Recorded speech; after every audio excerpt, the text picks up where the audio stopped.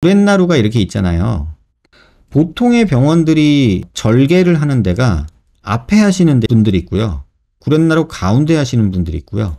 구렛나루 뒤에 하시는 분이 있으세요. 참고로 저는 옛날에는 구렛나루 사이 여기다 했었어요. 한 2, 3년, 3, 4년 전부터는 다 요 구렛나루 뒷라인으로 해요. 왜냐면 뒷광대 갈아주려고. 그래서 만약에 광대 수술을 절개를 여기로 한다. 그럼 여기는 손 못 대요. 그리고 구렛나루 앞으로 해서 오시는 분들이 가끔 계시거든요. 근데 그거는 좀 피하세요. 왜냐면 앞으로 절골하면은 이 뒷광대가 너무 많이 남아요. 그건 재수술하기도 힘들거든요. 구렛나루 속이나 구렛나루 뒤쪽에서 절개하는 병원을 찾아가시라.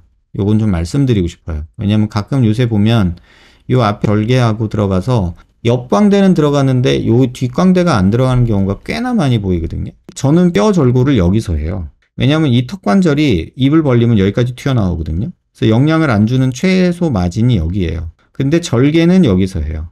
피부 절개는. 요 부분, 요 부분 뒷광대를 갈아줄 수가 있어서요.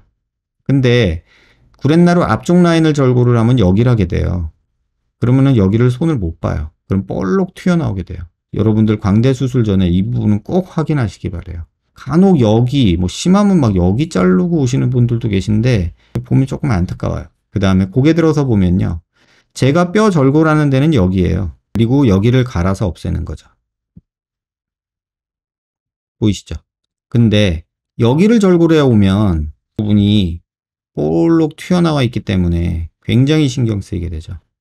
그래서 절골 위치가 가능한 이 템포럴 프로세스가 나오는 이 부분에서 이렇게 비스름이 되면 그 다음에 여기를 이렇게 갈아주면 뒷광대가 없겠죠. 꼭 생각해 보시기 바래요.